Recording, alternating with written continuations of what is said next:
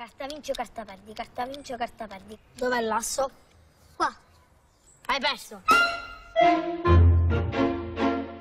Non lo so, dottore, fatto sta che da quando c'è mio cugino mi sento più fiducioso nei miei mezzi. Io pensavo addirittura che lui odiasse l'albergo per via del fatto che il nonno, morendo, lo lasciò a noi anziché che a loro. Invece no, lui sembra che all'albergo ci sia addirittura più affezionato di me. Per la prima volta nella mia vita sento che non mi può succedere niente.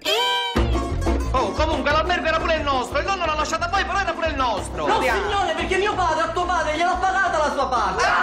Non osi dividere l'uomo ciò che Dio ha unito. Perché mamma, noi ce l'abbiamo pure con lui? Certo. Mi devi dire a tuo cugino che se non paga entro tre giorni. Andate a caccia? Solo guardando in faccia la morte posso combattere questa paura di morire. Ma non puoi morire quando ti pare a te. Devi aspettare il tuo turno.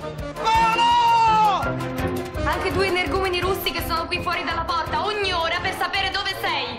E adesso io e te ci dobbiamo dividere la torta. Ma perché volete tutti i soldi da me? Ma che c'è scritto qua Monopoli? Se io firmo la ricevuta, lei diventa proprietario dell'albergo. Certo. E allora c'è un problema. Un momento!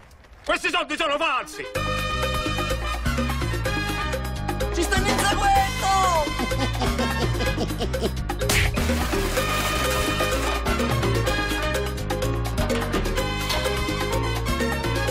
Ora c'è i mafiosi alle calcagna. Come lo conosco io, mio cugino non lo conosce nessuno, mi ha sempre truffato, fin da quando eravamo piccoli, col gioco delle tre carte. Vai, vai ragazzi, ve lascio in macchina!